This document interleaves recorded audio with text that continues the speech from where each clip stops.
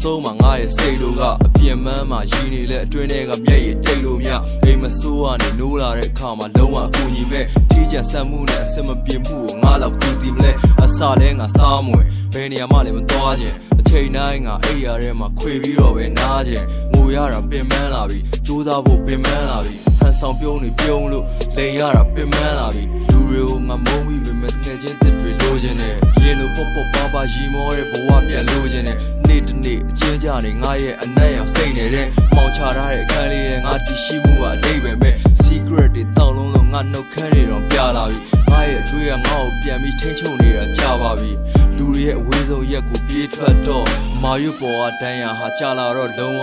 တွေးမထွက်တော့ show be like me ငါ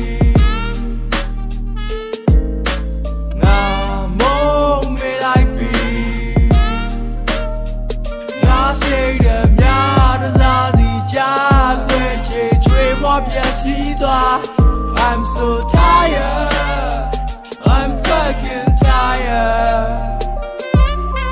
ငါထင်ထားခဲ့သလောက်မင်းပေါ်မှာငါအရေးမကြီးငါဟာစားထိုးလို့ရနိုင်သူဆိုတာကိုငါတွေးမိမင်းလည်းငါနေရာကိုခဏလောက်ဖြစ်ဖြစ်ဝင်ကြည့်လဲလူတွေအားလုံးနဲ့တယောက်ဖြစ်နေတာကိုမင်းလည်းမြင်မိမယ်ကြာရှုံးရတာမုန်းတယ်အသက်ရှူရတာမုန်းတယ်မဖြစ်နိုင်တဲ့အရာပေါ်မှာမျောလင်းချက်ထားရတာမုန်းတယ်မိကွန်းတွေကိုမုန်းတယ်အသေးကွဲရတာမုန်းတယ်ဘဝ လုံးစာရည်စူးခဲ့သူကိုနှုတ်ဆက်ရတာမုန်းတယ်အိပ်ပျော်မှပဲငါတွေးတယ်အားလုံးကတဖြည်းဖြည်းချုပ်ရင်းမှာအစ်ပြေလားလို့ဟန်ဆောင်ပြီးမေးတဲ့စကားတွေရုပ်သိမ်းမှာငါမျက်လုံးကိုတဲတဲကြည့်မင်းပါမြင်လဲလူတွေအားလုံးကငါလိုပဲလို့တစ်ထစ်ချရင်ငါထင်ခဲ့ပေါင်းမိအိတ်ထဲလက်၌ငကြက်တက်ပြီးလမ်းလျှောက်ငါဘယ်ကိုသွားနေလဲငါကိုယ်ရယ်မသိပါလမ်းပြောက်